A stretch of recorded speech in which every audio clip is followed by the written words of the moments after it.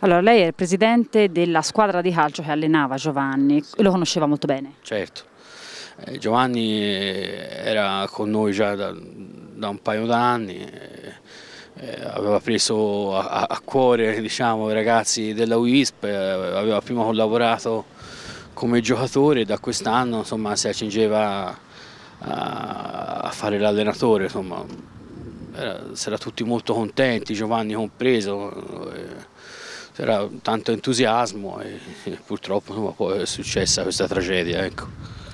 Aveva deciso di fare l'allenatore perché oltre a doti tecniche molto elevate aveva un carattere importante. Giovanni era un ragazzo eccezionale, appunto oltre ad essere un gran bravo calciatore, insomma era un bravissimo ragazzo, disponibile verso tutti, sempre affabile, allegro, perciò insomma insieme si era deciso di provare a fare diciamo, anche l'allenatore sicuramente sarebbe stato un allenatore bravissimo. Io sono Sauro Ravai, sono il presidente della S di Viacia Calcio. Sicuramente ora, quando succede le cose, quando muore una persona sono sempre delle cose brutte, okay? però un ragazzo di, di, 35 anni che è sportivo, un fisico atletico, uno che fa i controlli apposta che c'è tutti i certificati medici, succede una cosa così, cioè proprio non, non te l'aspetti poi un ragazzo disponibile, a noi ci ha dato una mano anche a sistemare la, la, la cucina perché era uno, insomma, una persona, un amico di quelli che ci puoi contare quando hai bisogno.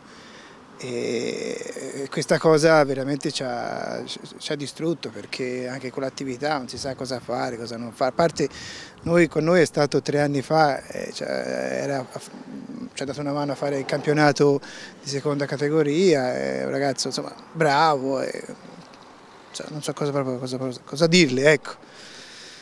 Non aveva, almeno in apparenza, problemi di salute? Ma se, se, se uno lo, lo, conosceva, tutti pensavano fuori che, che cioè, un ragazzo di 1,80 m, asciutto, eh, atletico, eh, eh, magari insomma, eh, uno di un'altra età potrebbe anche pensare, però uno come lui di sicuro non ti aspetti, se dovesse succedere qualche cosa non ti aspetti che succeda a lui, ecco, con, con, suo, con il suo fisico. Allora, uno delle colonne del circolo di Viaccia, lo conoscevate molto bene, lei mi ha detto era uno di noi.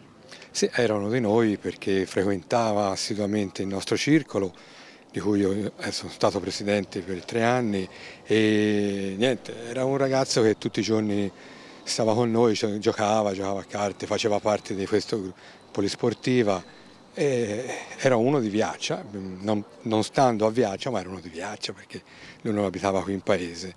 E niente, lo ricordiamo tutti con, gran, con una persona con grande impegno, specialmente nell'ambito sportivo del calcio a cui era molto appassionato e pur di non staccarsi dal calcio aveva deciso di fare l'allenatore, era il suo primo allenamento che dirigeva praticamente ed è niente, è un grande vuoto perché tra l'altro era uno di quelli che frequentava sia il circolo che il campo sportivo e tutti, tutti i ragazzi di, qui di Viaggia. Ecco.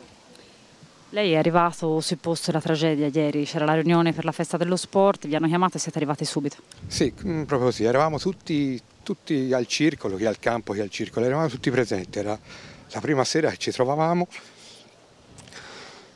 per organizzare questa festa e purtroppo quest'anno ce la facciamo.